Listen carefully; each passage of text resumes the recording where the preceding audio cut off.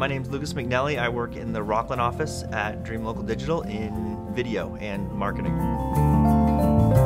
Video is really effective on social media. YouTube is a, is a social network in and of itself. And so, like when Saturday Night Live has a great video or has one of their their viral videos, that gets shared over and over and over and over again, and it always gets shared through social media. It used to get shared through email chains, but now it's on Facebook, and when they come up with a great video, it's on everybody's Facebook feed by noon the next day. And that's really something you don't get when the New Yorker writes a great article or when anything else like that happens. Video goes viral quicker you know, how many millions and millions of people are singing What Does the Fox Say right now? Many more than if it had just been a song on the radio.